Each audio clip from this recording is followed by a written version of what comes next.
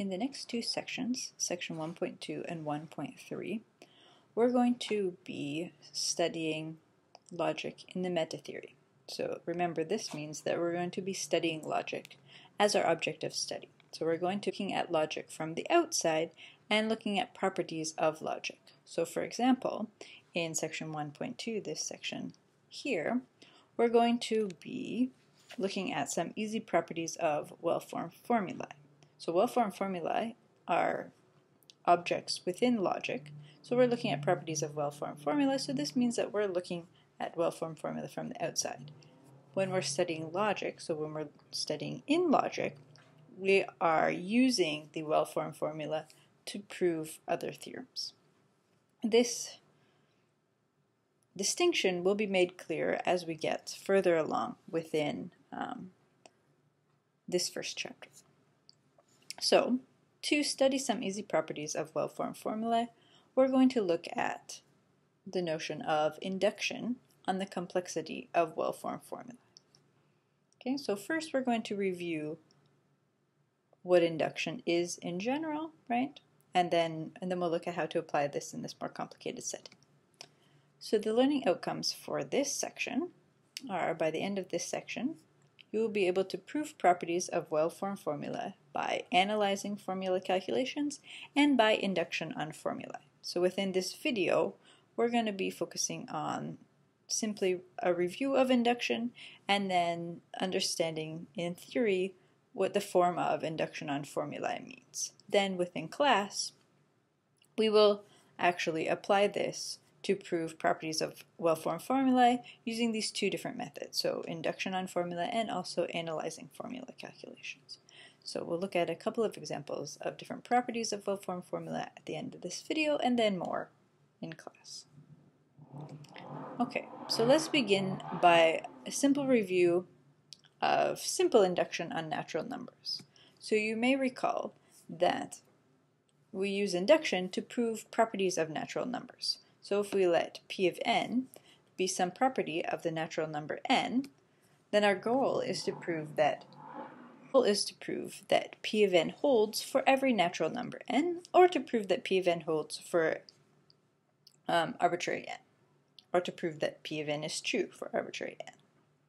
Okay, so this may be very easy to do. We may simply choose an arbitrary n and n, so n is just a variable, and we prove that that the property holds.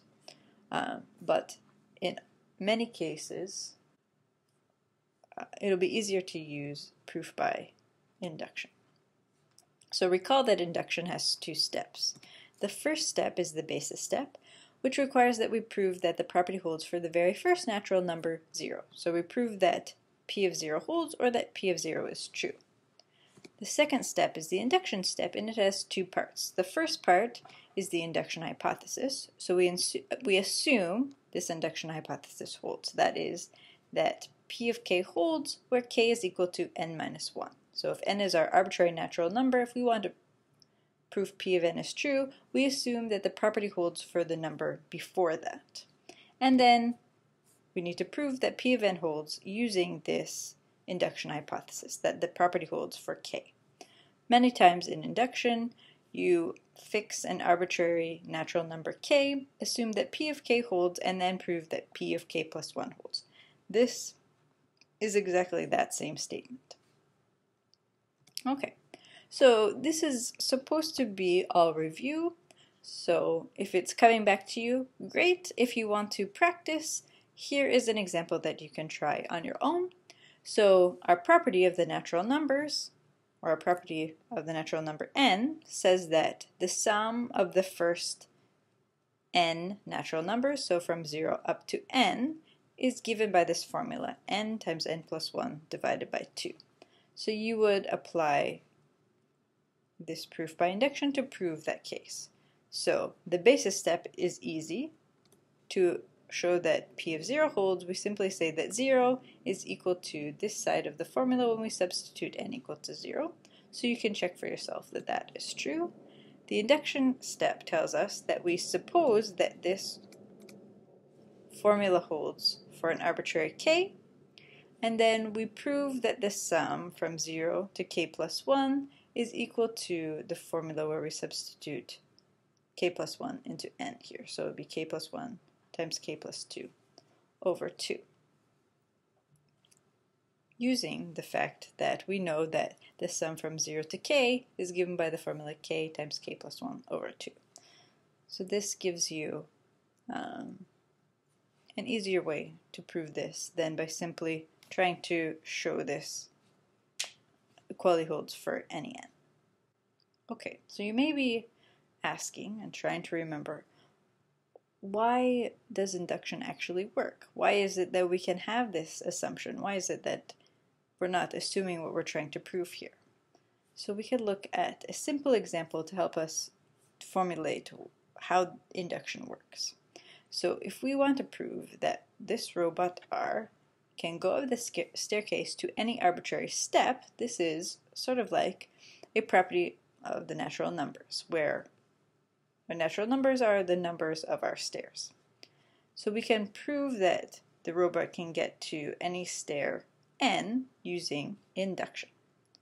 So how does this look? So the basis case is to prove that our robot, our robot can get to the beginning of the staircase, so can get to step zero. So we need to prove that outright somehow. And then the induction step tells us that if r can get to, say, step n minus 1, so we need to prove that if it can get to n minus 1, how does it get to step n? Okay, so that's the form of a proof by induction. So why does this prove that our robot can get from 0 to step n for any step or stair n?